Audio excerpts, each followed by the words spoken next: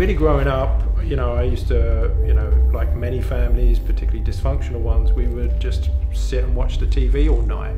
You weren't exposed to the same level of violence or sexual content, and certainly the adverts in things were far less sexualized. Television in the 50s was a, a totally different beast to what it is today.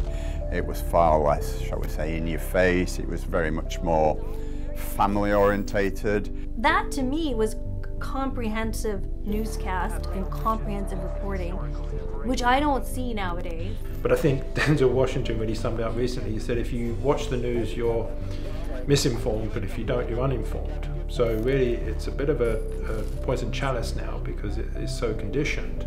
It essentially defines how people perceive reality.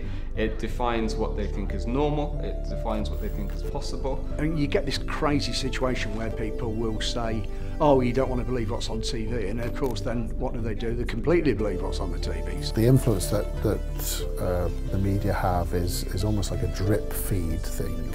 You might not see one programme and instantly sort of change the way you live your life or your outlook or your worldview, but it will be uh, like a, a drip, drip, drip effect of the way people's opinions are changed.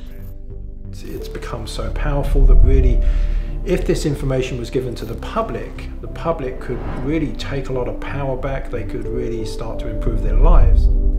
Telling the truth, not being part of a tell lie vision, being part of what television was supposed to be, is information that stands for the people. That's what I want to be remembered for.